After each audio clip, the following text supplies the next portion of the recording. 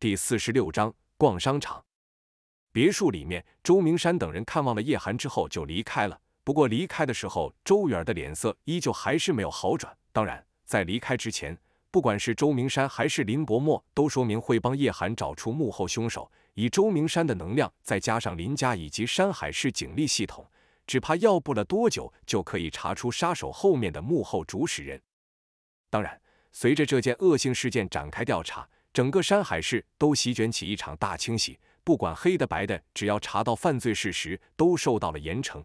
政府方面也是想拿这一次事件树立威信，同时向外界传达一个讯息：在山海市绝不容忍出现违法乱纪的事情，谁敢犯就打谁，绝不留情。而自从遭遇到杀手那一次之后，叶寒这段时间也很少出门，就连唐海滨这个贪玩的主都没有来找叶寒。这段时间，山海市有点混乱。唐海滨已经被唐建国禁足了，隔绝了和外面的一切联系。一天无所事事，叶寒只能陪着姐姐待在家里，一边研究医术，一边修炼。当然，叶寒也在观察外面的动静。随着展开调查这几天，对于那逃走的杀手，整个山海市警力系统还是没有一点头绪。那杀手就好像凭空蒸发了一样。不过叶寒不认为这杀手已经离开了山海市，眼下整个山海市大封锁，出入都是严格排查，而且一些离开的隐秘渠道同样遭到了封锁。那个杀手根本没有机会离开，所以他一定还藏在某个角落里。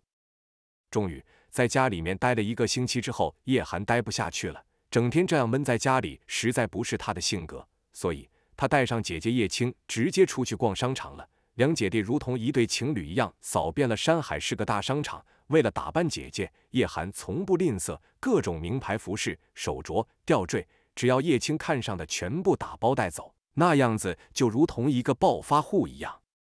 被叶寒这样子宠着，叶青心里幸福的同时，也不免有些心疼。一连扫荡了两三天，叶寒至少花费了几百万。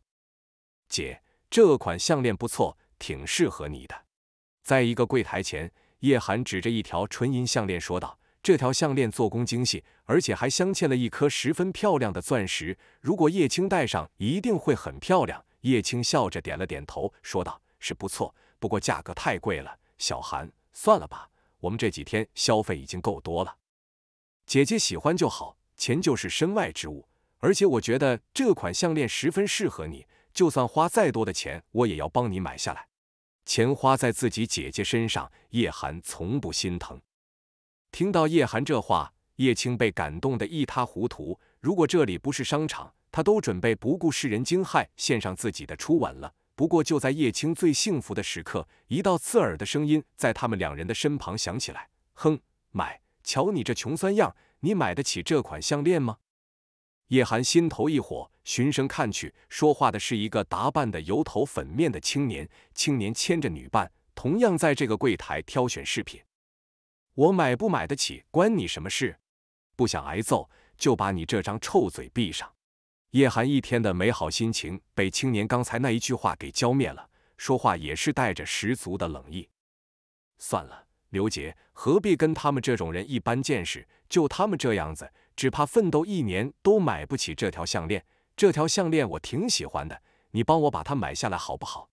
青年身边的女伴摇晃着他的手臂，撒娇的说道：“哈哈，好，你喜欢我当然帮你买。不过这土包子刚才说想揍我，就他这穷酸样，我给他十个胆，他也不敢。”青年冷哼一声，不屑的看着叶寒。今天叶寒的穿着确实比较朴素，对他来说穿什么都无所谓，只要合身就行。不过，这在青年看来，叶寒就是一个十足的打工仔，还妄想买下那条价格二十多万的项链。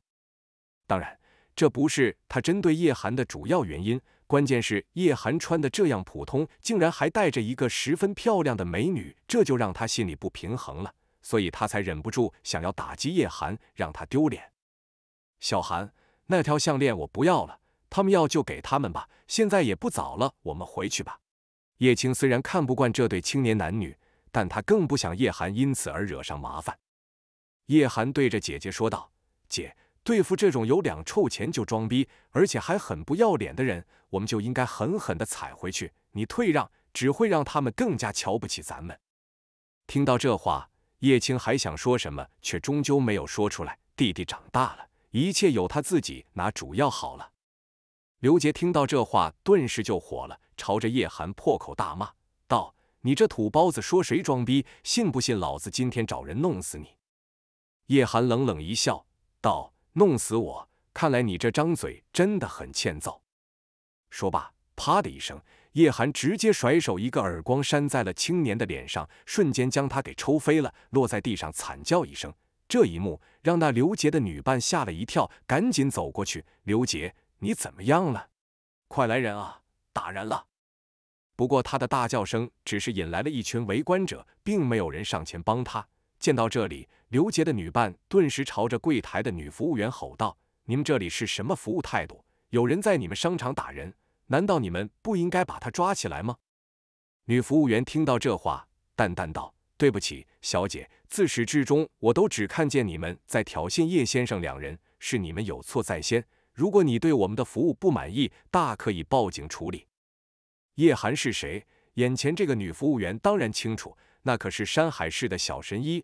来到他们的商场买东西是他们的荣幸，同时也是上帝。他们怎么会把这个上帝抓起来了？你们的服务太恶劣了，我要报警，我要投诉你们。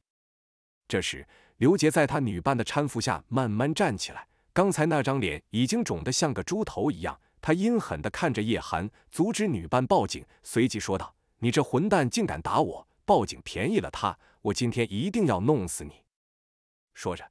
他顿时掏出手机打了一个电话：“表哥，我在山海国际城被人打了，你快来呀！再不来我就要被人打死了。”电话打完，他指着叶寒说道：“你等着，有本事你别走。”“好啊，我等着。”叶寒淡淡的应了声。叶青有点担忧的说道：“小寒会不会有事啊？”叶寒拍了拍姐姐叶青的手背，给了她一个放心的眼神。随后，两人若无其事的继续欣赏刚才那条项链，把那刘杰和他的女伴直接晾在一边。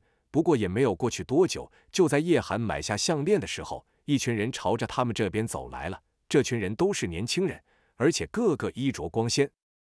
表哥，你终于来了，我都快被人打死了。刘杰见到这一群青年的到来，立即大吐苦水，废话连篇，把叶寒说成了一个嚣张跋扈的打工仔。听到刘杰说完，这群青年中一人顿时朝着叶寒的背影看了过去，一挥手说道：“走，咱们去看看敢在山海市这么嚣张的人是谁。”